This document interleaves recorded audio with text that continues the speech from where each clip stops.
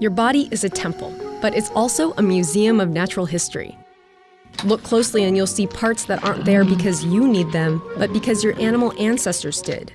No longer serving their previous function, but not costly enough to have disappeared.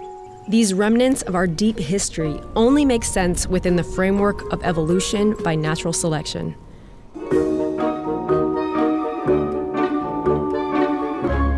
With your arm on a flat surface, push your thumb against your pinky and tip your hand slightly up. If you see a raised band in the middle of your wrist, you've got a vestigial muscle in your forearm. That tendon you see connects to the palmaris longus, a muscle that around 10 to 15% of people are missing on one or both of their arms. It doesn't make them any weaker though. There's no difference in grip strength. In fact, it's one of the first tendons that surgeons will take out so that they can use it in reconstructive and cosmetic surgeries.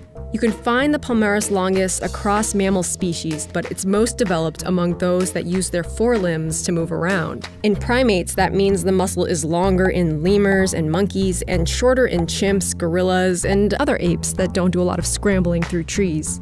It's not the only leftover muscle that we've got. Look at the three that are attached to our outer ear.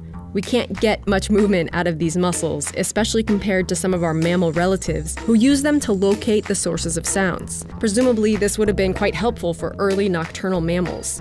In humans, you can still detect the remnants of this adaptation with electrodes. In one study, researchers recorded a spike of activity in the ear muscle cells in response to a sudden sound. Not enough to move the ear, but detectable. And you can probably guess the location of the sound based on these results. It came from a speaker placed to the left of the study subjects. So, this is their left ear subconsciously trying and failing to pivot toward the sound. You can see another futile effort by our vestigial body parts when you get goosebumps. When we're cold, tiny muscles attached to our body hairs contract, pulling the hair upright, which causes the surrounding skin to form a bump.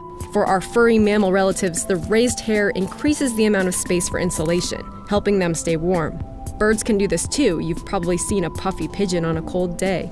Adrenaline is one of the hormones involved in the body's response to cold temperatures, and it's also part of the fight or flight response. So it helps some animals appear larger when they're threatened.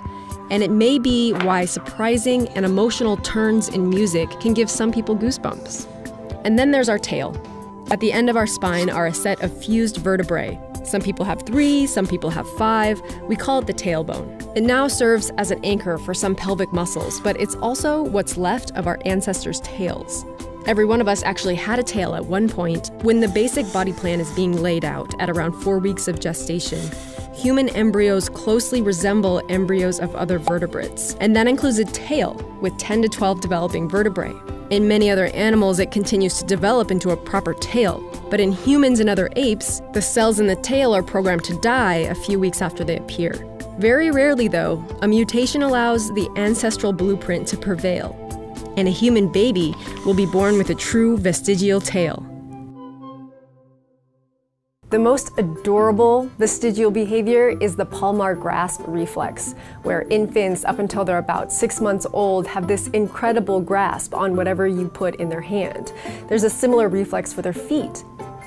I wanted to show you this great piece of footage from the 1930s where they demonstrated this behavior. These babies are only one month old, and you can see that their inner monkey can support their entire weight.